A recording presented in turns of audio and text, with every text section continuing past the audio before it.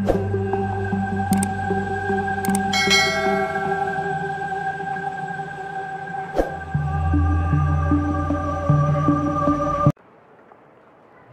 lagi dengan kami di channel Acara Online. Di video kali ini, kami akan menceritakan pengalaman mati suri dari seseorang yang bernama Mbah Surip.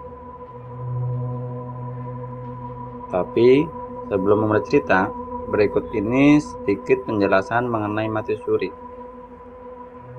Mati suri merupakan sebuah fenomena seseorang kembali hidup setelah dinyatakan meninggal dunia Biasanya, seseorang dinyatakan meninggal dunia karena nafasnya berhenti dan jantungnya tidak lagi berdetak. Kejadiannya bisa beberapa menit atau beberapa jam meninggal dunia, kemudian hidup kembali. Dalam kondisi mati suri, biasanya seseorang mengalami perjalanan spiritual yang bikin bulu kuduk merinding. Ada yang diperlihatkan surga neraka, melihat alam gaib, bertemu orang-orang yang sudah meninggal, dan lain sebagainya. Nah, kali ini kami akan membagikan kisah mati suri Mbak Suri, kakek dari teman saya yang bernama Jaka.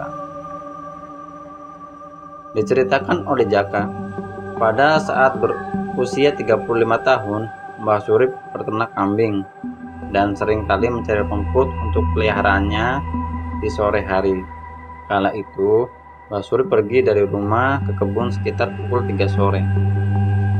Basuri memilih kebun yang cukup luas dengan rumput yang banyak dan tidak jauh dari rumahnya.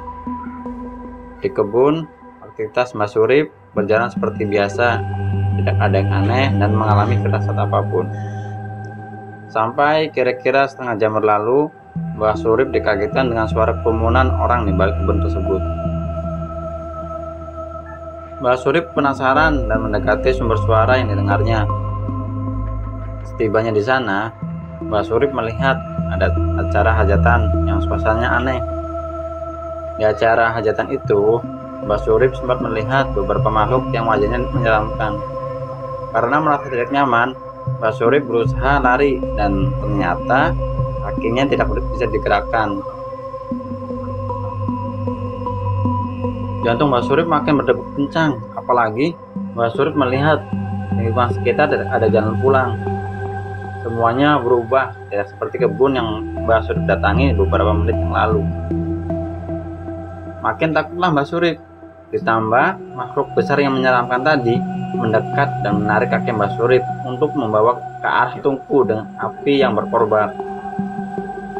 Makhluk ini ingin merebus Mbak Surip hidup-hidup dan menjadikan makanan mereka. Sontak, Mbak Surip teriak-teriak memohon untuk dilepaskan. Dan teriakannya membuat raja dari bangsa lembut ini keluar dari singgasananya. Untuk apa bawa orang gila ini? Lepaskan dia, perintah raja. Tidak lama kemudian, akhirnya Mbak Surip dilepaskan dari genggaman anak buahnya. Kamu jalan lurus saja ke situ. Sang raja memberikan petunjuk pada Mbak Surip. Tanpa menunggu lama, Mbak Surip pun berlari ke arah yang ditunjukkan dan berhasil keluar dari tempat itu.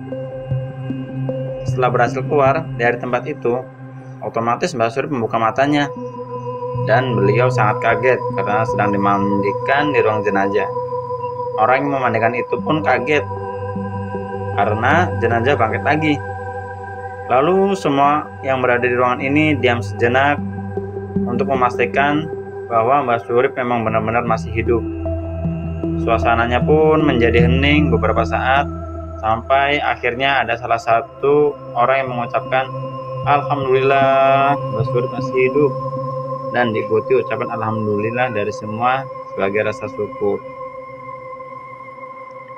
Dengan kondisi yang masih shock, Mbak Suri berusaha bangun dan memakai memakai pakaiannya.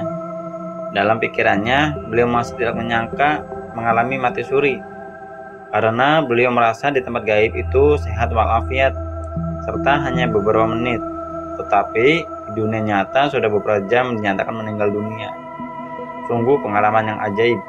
Wallahu a'lam Terima kasih sudah mendengar cerita ini. Bila kalian punya cerita mistis, silahkan ceritakan di kolom komentar. Sampai jumpa di cerita horor selanjutnya.